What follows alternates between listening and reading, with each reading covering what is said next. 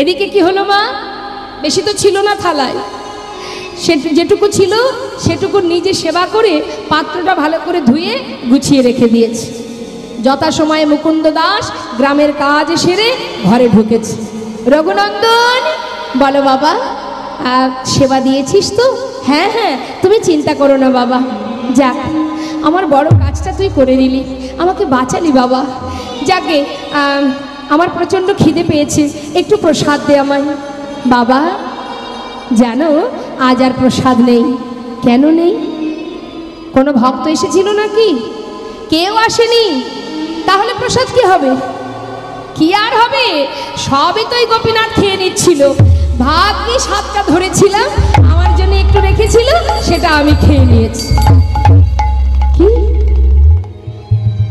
গোপীনাথ খেয়েছে? এ কি করে সম্ভব? প্রতিদিন তো আমি সেবা দিই, কোনোদিন তো সে খায় না।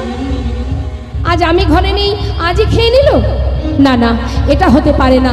সে তো পাথর, সে কি করে সেবা করবে? সে তো কথা বলতে পারে না, সে তো চলতে পারে না। আমার ছেলে নিজে খেয়ে ওই বিগ্রের নামে দোষ দিচ্ছে। যার যেমন ভাব, তার তো তেমনই লাভ, মা। ভাবছে এটাই যে আমার ছেলে নিজে সবই খেয়েছে।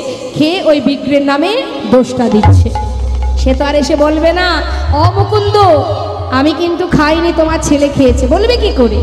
সে তো পাথর। হরি বল।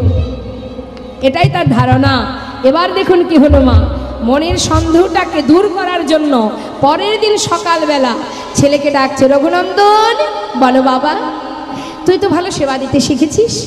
আমাকে আজও যেতে হবে গ্রামের কাজে। তা তুই এক কাজ কর, আজ আর রান্না করতে হবে না।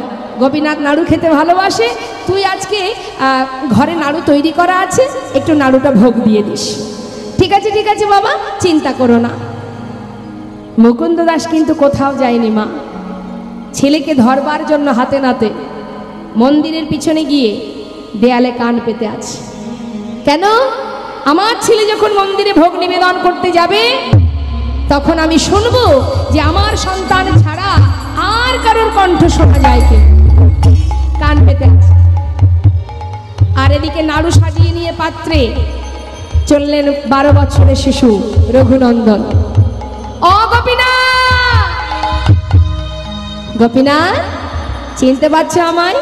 কাল এসেছিলাম। আজ কিন্তু আর ডাকতে পারব না। শিগগিরই এসো। আজ তোমার জন্য নাড়ু এনেছি। বাবা বলল তুমি নাকি নাড়ু খেতে ভালোবাসো? তাই নাড়ু এনেছি। শিগগিরই এসো নাড়ু খেয়ে নাও। আহা।